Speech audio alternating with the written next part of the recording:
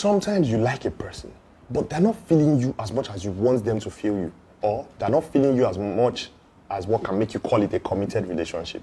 As a matter of fact, sometimes when you're out with this person, you can't introduce him or her to your friends and say, "Oh, meet my boyfriend," or "Meet my girlfriend," because the person might be like, "Why did you say that? Why didn't you just say I'm your friend?" So you are trying to manage the situation. In fact, a situationship is beginning to unravel. Now, your friends sometimes can come back and be like, "Oh, we saw your guy at this place." You can't pick up the phone and demand for accountability because you know if you pull too hard at the string, if it break.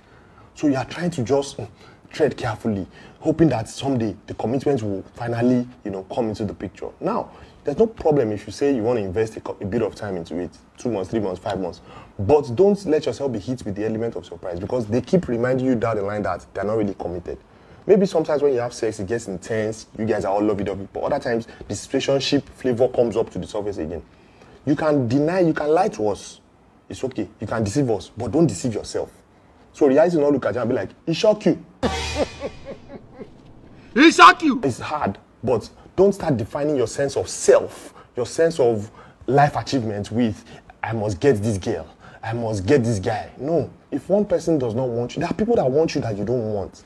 It's, life is inside life. Sometimes people want you, don't want them. Sometimes you want somebody, they don't want you.